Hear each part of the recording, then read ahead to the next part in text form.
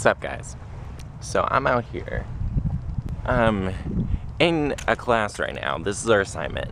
The assignment for my poetry class is that we go out and we take pictures of things that are either natural beauty or artificial beauty.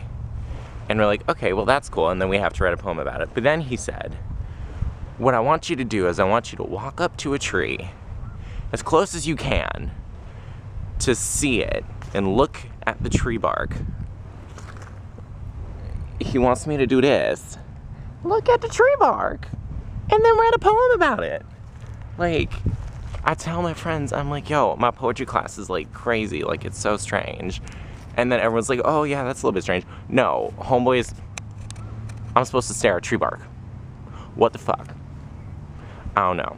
But I have to be back in like 45 minutes to like talk about tree bark and a poem that I wrote. I'm bringing my Mac. Like, everyone brings paper and like their little journal for like writing poems and shit. No, I got my iPhone 5 in. I'm vlogging and I have to write a poem about tree bark. Okay, like, okay, if that's what you want me to do, then I, then I guess I could try. Like, and but he's like the coolest teacher. I love Mark. Bugs on me and shit. Uh, I love Mark. He's like, well, if you don't want to write a poem, you don't have to. And like, if you're not feeling it, you don't have to. I'm like, okay. So, allows me to be creative, but there's people around, so I'm gonna go stare at some tree bark and take pictures of, I don't know, whatever. But bye!